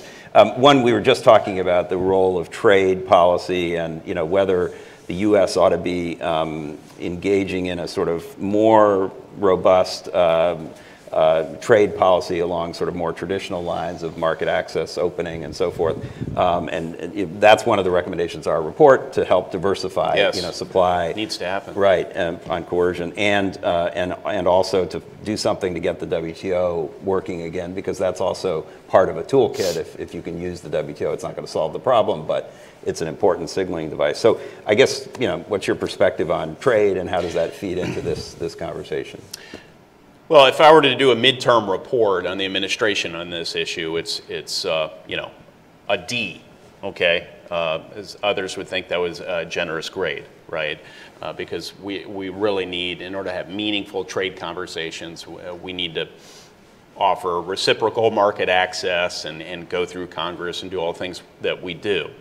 But really, the grade is incomplete. There's a final exam, and I want to give the administration an opportunity to step up and uh, at least do some of the easier things. Increase trade with Taiwan, Kenya, maybe the UK. I mean, there's, there's, there's some easy wins that I would encourage the administration, even in the run-up to a presidential uh, you know, uh, campaign, uh, to take. And I think uh, there is no better way to improve resiliency, another focus uh, of your report, than uh, by having meaningful conversations and then agreements related to trade. I agree with all of that, um, uh, um, but won't say any more, um, or I'll get in trouble. Um, so uh, I just want to ask one more thing. You already kind of addressed Taiwan in your remarks, but we did talk a little about Taiwan, and, and I didn't get a chance to answer Lingling's good question, why we didn't really uh, zero in on Taiwan in our report. It's not that we don't think it's important, um, but it is a big issue, as Jude, I think, very eloquently answered. Um, you know, coercion, economic coercion, is sort of part of a bigger uh, set of things that China is doing vis-a-vis Taiwan, and we thought you know that would sort of distract from the other uh, important cases that we, we did look at in our report. But I want to ask you. I think on Taiwan. most people who are sort of following these things know that Taiwan is, is being coerced. Is that Right, sort of your exactly. point? I mean, that's you want to demonstrate it's a broader challenge. Right, and, and does it sort of fit though into, like, does your bill have something that targets that issue in particular, or is there sort of a broader set of issues here that we have to think about vis-a-vis Taiwan? Uh, we, we empower the president with the same toolkit uh, for Taiwan as, as he might apply to Lithuania or Australia or, or, or some other country. So we, we think the same tools apply. No, no unique tool set, uh, toolkit as it relates to economic coercion is required for Taiwan. But here again, it would be really helpful if, if we were to have a meaningful market access conversation with Taiwan. That's, that's the best thing we can do to uh, prevent coercion. And I'm allowed to say more on that front. You may not. I, I mean, I'm supposed to be able to say that, but I get in trouble when I do for some reason. Okay, um, uh, so let me invite the audience, if you have a question, to raise your hand. We do have some microphones, and um, I'd welcome uh, a question or two before we have to let the senator go. Um, d- does anybody, uh, everybody's shy at this hour? There's a gentleman there, and um, I want Serious this side of the gentleman. room. There we go. Yes, all right. Hey, how are you doing? Uh, Good, Can you identify yourself for the Yeah, rest? my, my name is Philip Gunn. I'm with the uh, Washington Export Council, and I'm also a former Hoosier.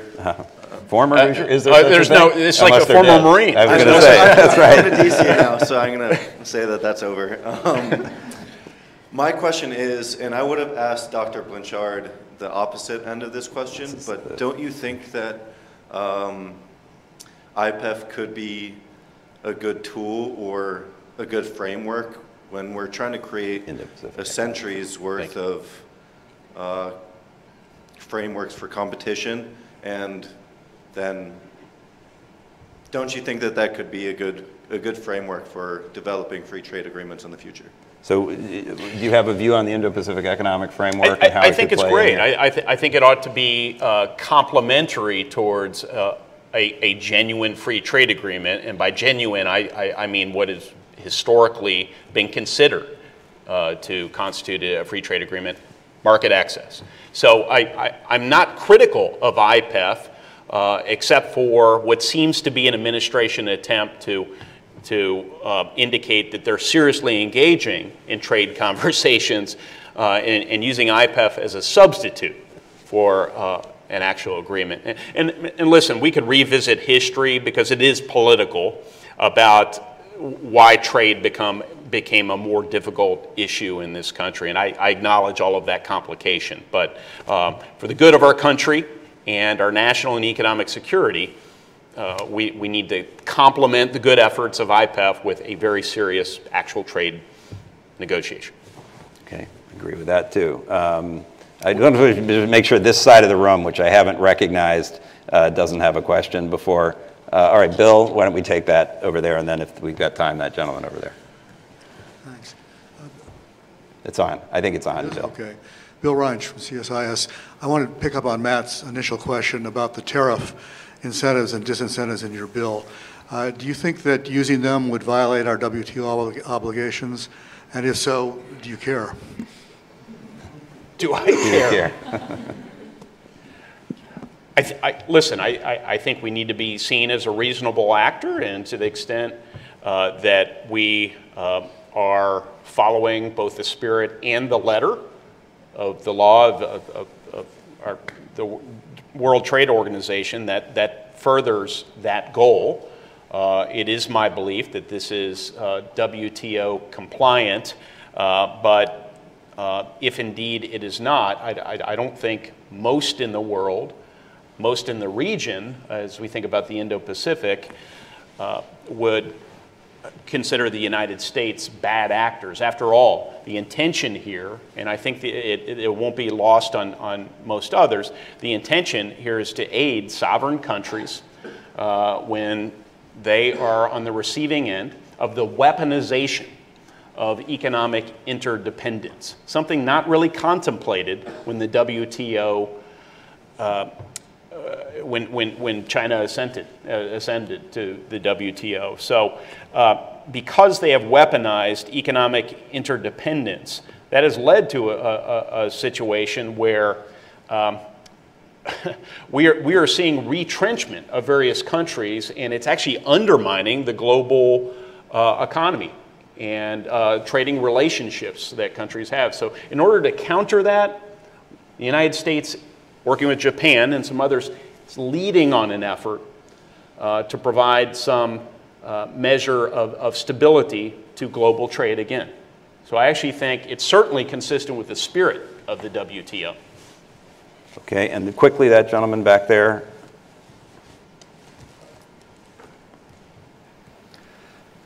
Hey, my name is Ryan from APCO, and uh, the panel touched on this a little bit before, but it was the private sector. So, how? What is your thoughts on how they should navigate this? What's your expectations for them? We heard Rahm Emanuel earlier said the NBA folded up like a cheap suit, and uh, just wondering, uh, yeah, what? How should they? The NBA Ambassador Oh, Emanuel national- said oh, the yeah, NBA I- I do know what the like a- National Basketball Right, but he said that they. I'm he the said U.S. they- Center for Indiana. I just wanted oh, you play basketball Yeah, there. yeah. the, um, he said that they folded uh, uh, in Yeah. response to the Chinese coercion. So, yeah. And sorry, so what, what do we do about private?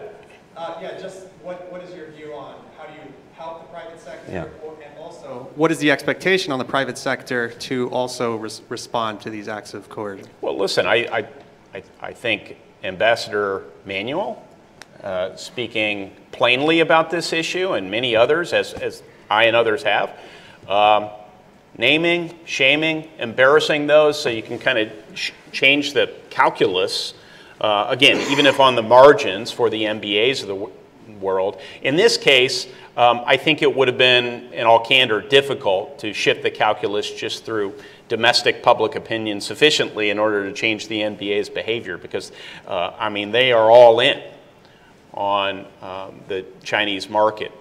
Uh, but there's that, trying to educate and inform the public, and increasingly the public is, is really focused on this issue, as we've seen from uh, the, the de-investment uh, in, in China by state pension funds, right? So that the public does care.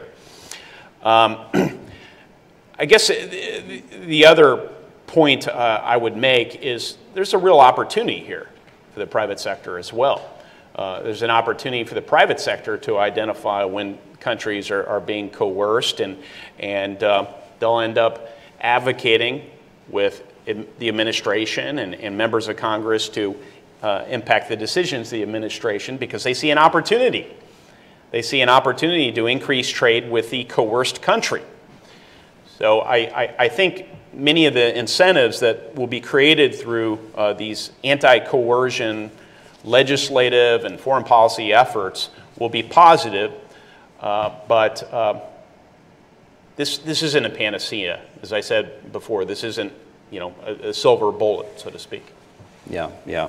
No, I think we have to be realistic about that. Yeah. That's, a, that's an important point as well. But look, really thoughtful, uh, very helpful um, comments that, that uh, uh, help round out our conversation today, which is not the end of the story. This is going to be a continuing conversation Yeah. here at CSIS and I'm sure beyond in Washington. And we'll look forward to following the progress of your bill. And, uh, you know, we're happy to keep the conversation going with you. If we can be helpful, let us know. But for now, can you join me in thanking Senator Young Thanks, for being Matt. with us today?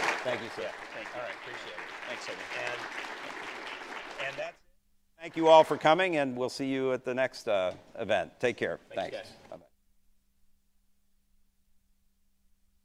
Bye-bye.